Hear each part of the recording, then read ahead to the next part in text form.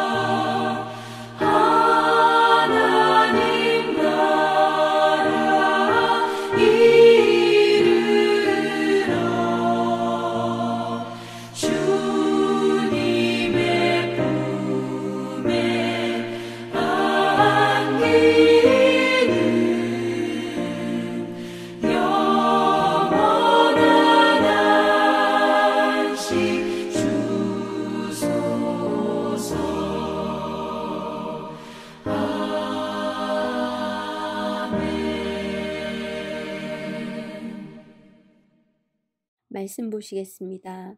말씀은 고린도전서 2장 1절에서 16절 말씀, 고린도전서 2장 1절에서 16절 말씀입니다. 형제들아, 내가 너희에게 나아가 하나님의 증거를 전할 때에 말과 지혜의 아름다운 것으로 아니하였나니 내가 너희 중에서 예수 그리스도와 그가 십자가에 못 박히신 것 외에는 아무것도 알지 아니하기로 작정하였습니다. 내가 너희 가운데 거할 때에 약하고 두려워하고 심히 떨었노라. 내 말과 내 전도함이 설득력 있는 지혜의 말로 하지 아니하고 다만 성령의 나타나심과 능력으로 하여 너희 믿음이 사람의 지혜에 있지 아니하고 다만 하나님의 능력에 있게 하려 하였노라. 그러나 우리가 온전한 자들 중에서는 지혜를 말하노니 이는 이 세상의 지혜가 아니요 또 이 세상에서 없어질 통치자들의 지혜도 아니요 오직 은밀한 가운데 있는 하나님의 지혜를 말하는 것으로서 곧 감추어졌던 것인데 하나님이 우리의 영광을 위하여 만세전에 미리 정하신 것이라. 이 지혜는 이 세대의 통치자들이 한 사람도 알지 못하였나니 만일 알았더라면 영광의 주를 십자가에 못 박지 아니하였으리라. 기록된 바 하나님이 자기를 사랑하는 자들을 위하여 예비하신 모든 것은 눈으로 보지 못하고 귀로 듣지 못하고 사람의 마음으로 생각하지도 못하였다 함과 같으니라. 오직 하나님이 성령으로 이것을 우리에게 보이셨으니 성령은 모든 것, 곧 하나님의 깊은 것까지도 통달하시느니라. 사람의 일을 사람의 속에 있는 영 외에 누가 알리요? 이와 같이 하나님의 일도 하나님의 영 외에는 아무도 알지 못하느니라. 우리가 세상의 영을 받지 아니하고 오직 하나님으로부터 온 영을 받았으니 이는 우리로 하여금 하나님께서 우리에게 은혜로 주신 것들을 알게 하려 하심이라. 우리가 이것을 말하거니와 사람의 지혜가 가르친 말로 아니하고 오직 성령께서 가르치신 것으로 하니 영적인 일은 영적인 것으로 분별하느니라. 육에 속한 사람은 하나님의 성령의 일들을 받지 아니하나니 이는 그것들이 그에게는 어리석게 보임이요 또 그는 그것들을 알 수도 없나니 그러한 일은 영적으로 분별되기 때문이라. 신령한 자는 모든 것을 판단하나 자기는 아무에게도 판단을 받지 아니하느니라. 누가 주의 마음을 알아서 주를 가르치겠느냐? 그러나 우리가 그리스도의 마음을 가졌느니라. 사도행전 18장에 보시면 고린도 교회는 바울의 2차 전도 여행 당시 고린도에 약 18개월 정도 머무르면서 복음을 전하여 세워진 교회입니다. 그 이후 바울이 에베소에 있을 때 고린도 교회에 분쟁이 있다는 말을 듣고 그들을 권면하기 위해 편지를 썼습니다. 고린도 교회는 여러 분파가 있었고 분쟁이 끊이지 않았고 많은 은사가 있었음에도 불구하고 그 은사를 사용하여 교회에 덕을 세우지 못하고 교만하였으며 사회적으로 팽배했던 음행이 교회 안에까지 들어와 교회는 크게 혼란에 빠지게 되었습니다. 그도 그럴 것이 당시 고린도는 항만 도시로서 상업적 교육이 굉장히 활발한 매우 부유하고 번창한 도시였습니다. 그러나 사체와 향락으로 부패한 도시가 되고 말았습니다.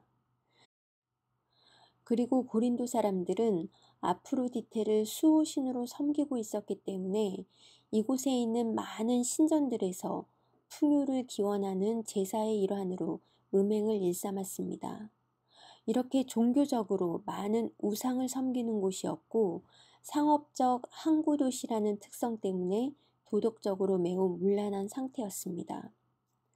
사도 바울이 고린도 교회 사람들에게 보낸 그의 편지에서 유난히 음행과 타락을 경계하고 도덕적 순수함을 강조한 까닭이 바로 이 도시에는 환락이 극에 달해 곳곳에 유혹이 도사리고 있었기 때문입니다. 오늘 본문 전반부를 보시면 당시의 사회적 풍조 속에서 바울이 얼마나 고심을 하며 복음을 전했는지를 엿볼 수 있습니다. 형제들아, 내가 너희에게 나아가 하나님의 증거를 전할 때 말과 지혜의 아름다운 것으로 아니하였나니 내가 너희 중에서 예수 그리스도와 그가 십자가에 못 박히신 것 외에는 아무것도 알지 아니하기로 작정하였습니다.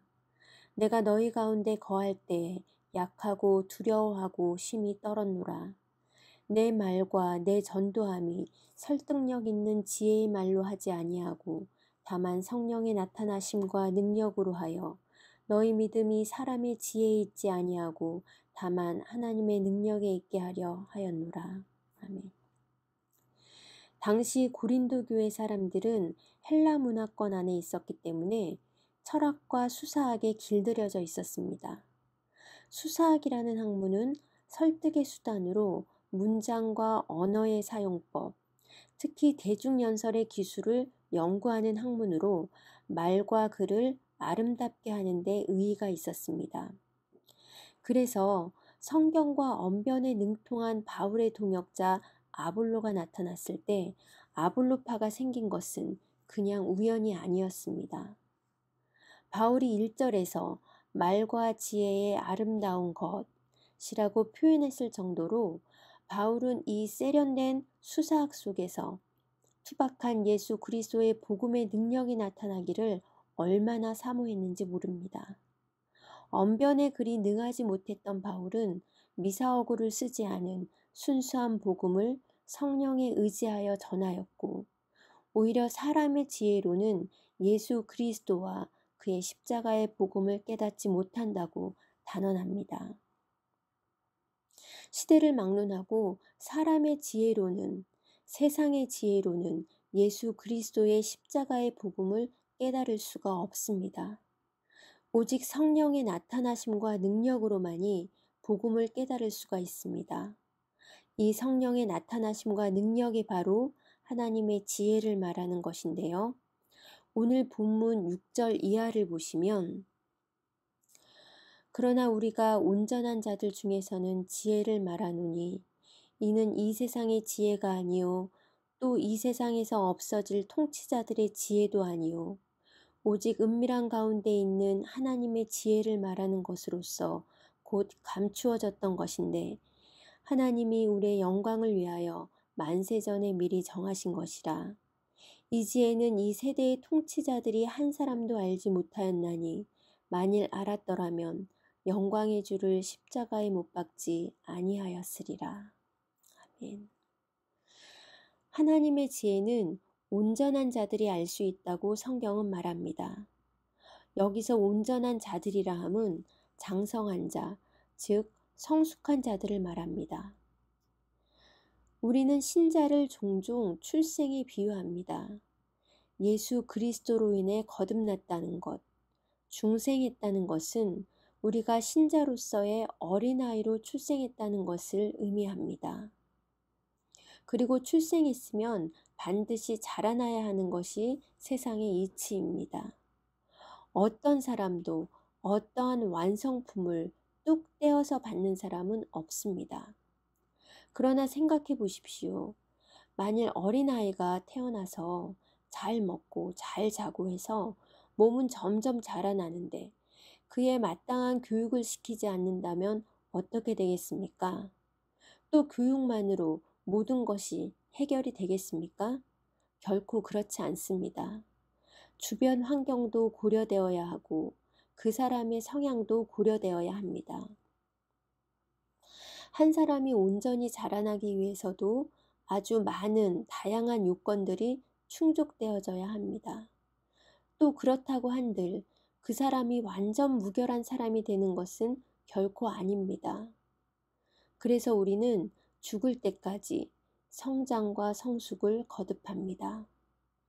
우리의 신앙도 마찬가지입니다. 먼저는 한 사람의 신앙이 자라나야 한다는 것을 인정해야 합니다. 그런 의미에서 교회에는 어린아이 수준의 신자로부터 장성한 자의 수준에 이르기까지 다양한 단계의 신자들이 존재합니다. 나이가 들었다 해서 신앙의 연수가 오래되었다고 해서 성숙한 신자라고 단정 지을 수 없습니다. 그럼에도 불구하고 우리는 삶과 신앙의 연륜에서 묻어나는 오랜 연수를 가진 신자의 지혜를 무시할 수 없고 또 초신자의 열정 또한 무시할 수 없습니다. 언제나 하나님의 방법은 모든 것이 합력하여 선을 이루시는 것입니다. 한 사람의 신앙을 바라볼 때에도 어떤 부분은 유치원생 수준인데 어떤 부분은 대학원생쯤 되는 수준이 있을 수 있습니다. 가령 예를 들면 이런 것이죠.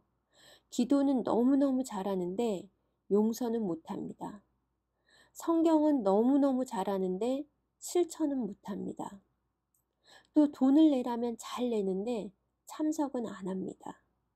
성경에서 말하는 성숙한 신앙은 인간의 전 인격적인 성, 성숙을 말합니다. 심리학에서 쓰는 용어 중에 성인아이라는 말이 있습니다. 분명 몸은 자라서 성인인데 그 내면의 자아가 어떤 이유로 채 성장하지 못해 감정이나 태도나 행동 면에서 어린아이와 같은 모습을 보이는 사람들을 말합니다. 주로 부모가 알코올 중독이거나 폭력을 행사했다거나 하는 엮이는 가정에서 자란 사람들이 그렇다고 합니다. 물론 이런 환경에서 자랐다고 해서 모든 사람들이 그렇게 되는 것은 아닙니다. 사실 우리 모두는 어떠한 의미에서 이런 성인아이적인 면을 모두 가지고 있을 수 있습니다.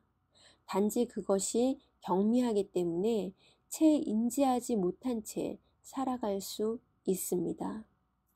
때문에 신자가 신앙생활을 실패하는 것은 어쩌면 너무나 당연합니다. 자기의 것으로 시작한 것이 아니기 때문입니다. 하나님께서 우리에게 주신 것들은 거룩과 생명에 관한 것이고 진리에 관한 것이고 신이 성품에 관한 것들입니다. 원래 내 것이 아닙니다. 익숙한 것들이 아닙니다. 이렇게 자기 것이 아닌 것으로 시작하기 때문에 우린 낯설고 서투르며 실패하고 실수합니다. 마치 어린아이가 싸우고 아프고 다치며 크는 것처럼 말입니다. 그렇다면 우리의 신앙은 어떻게 성장해야 할까요? 본문 9절, 10절 말씀을 보시면 기록된 바 하나님이 자기를 사랑하는 자들을 위하여 예비하신 모든 것은 눈으로 보지 못하고 귀로 듣지 못하고 사람의 마음으로 생각하지도 못하였다함과 같으니라. 오직 하나님의 성령으로 이것을 우리에게 보이셨으니 성령은 모든 것, 곧 하나님의 깊은 것까지도 통달하시느니라. 아멘.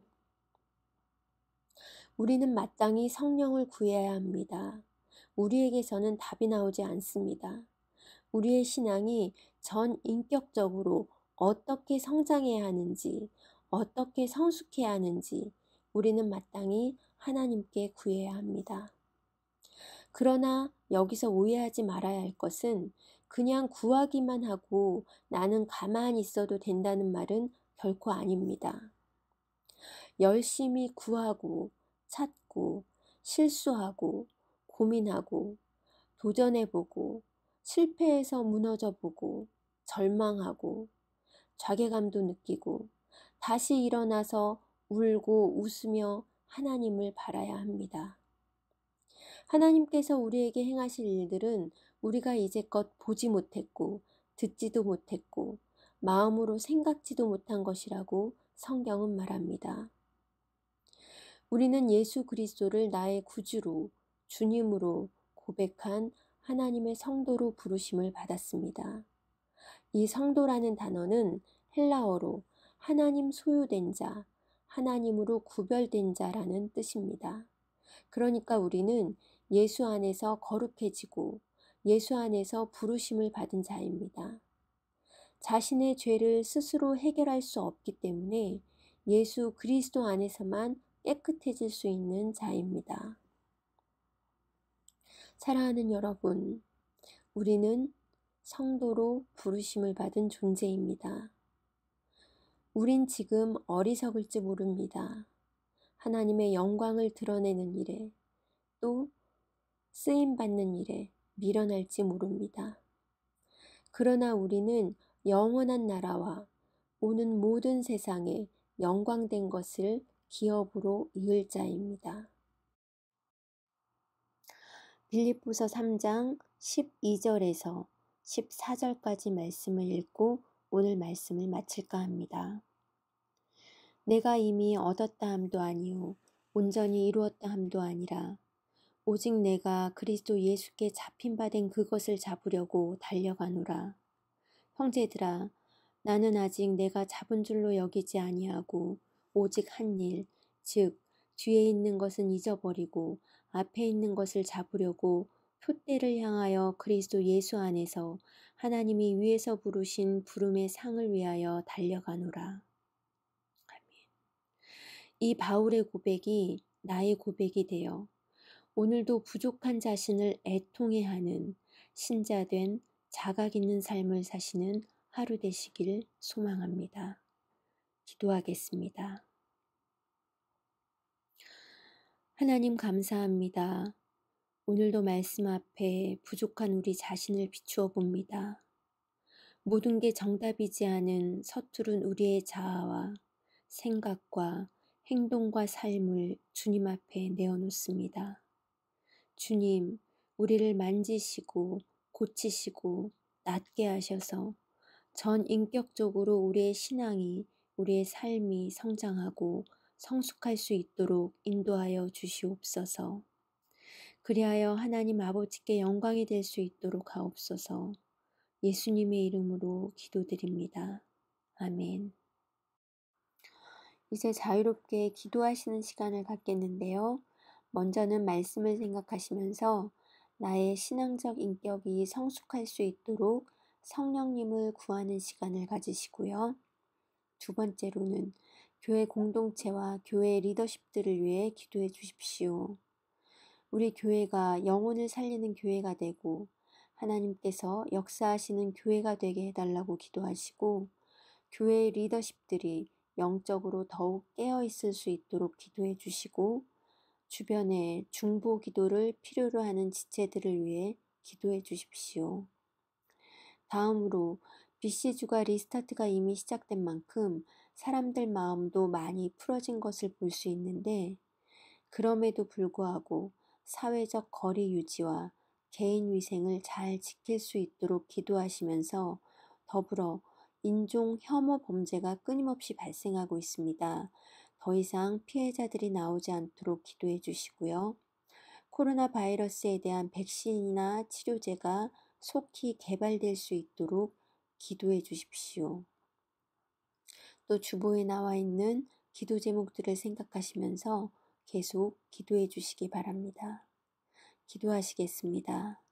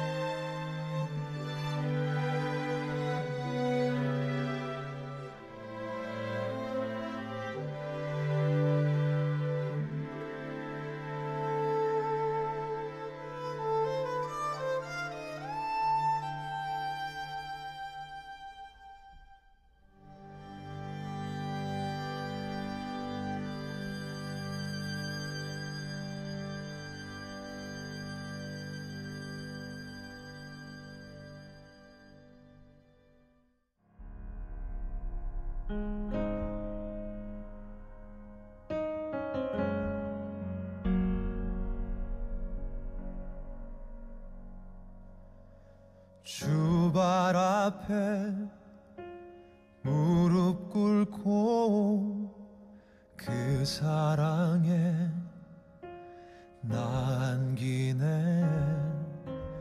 어떤 말도 그 어떤 소리도 그 발 앞에서 잠잠해지네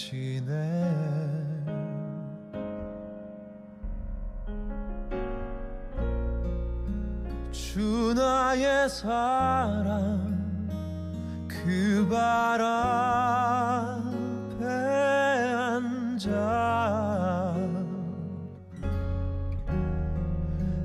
내 모든 기도는 사랑의 노래가 되네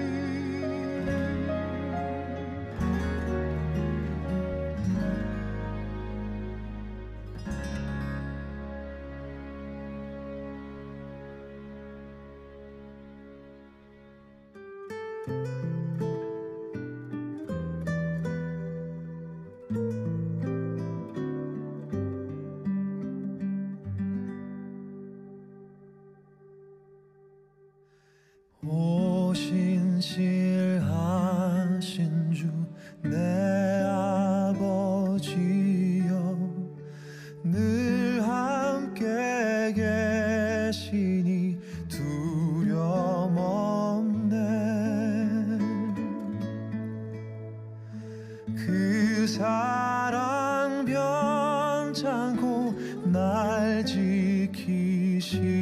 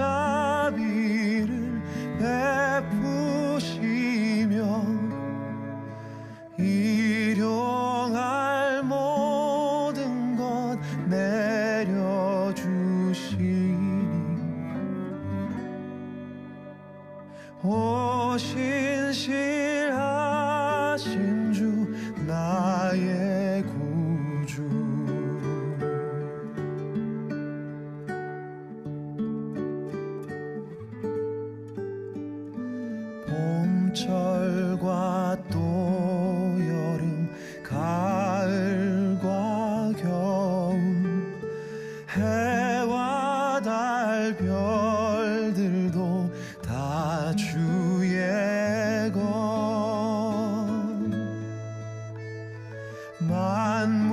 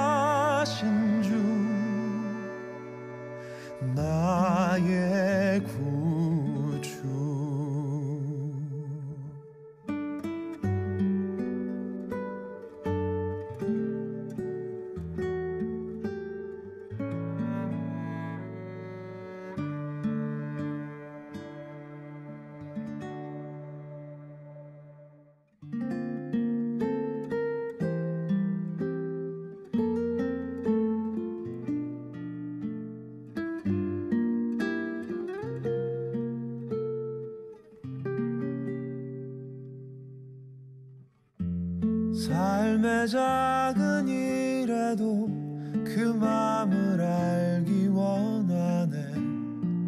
그 길, 그 좁은 길로 가길 원해. 나의 자금을 알고 그분의 크심을 알며 소망 그 깊은 길로 가길 원 하네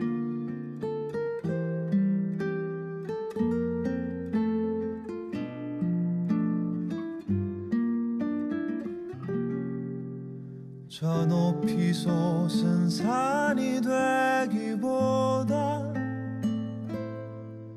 여기 오름직한 동산이 되길 내 가는 길만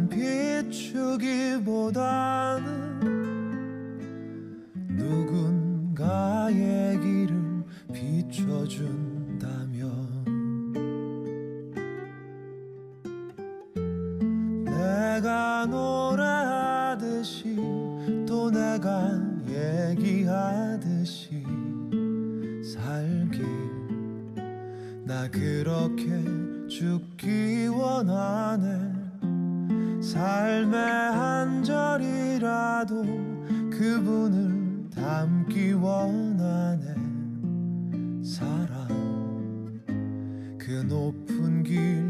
가기 원하네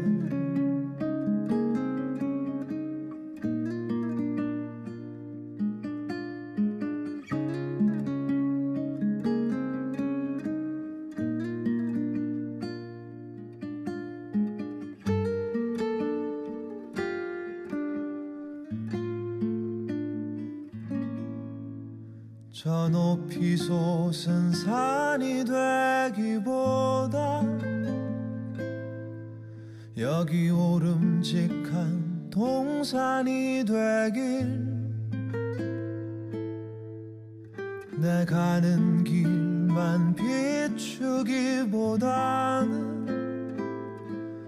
누군가의 길을 비춰준다면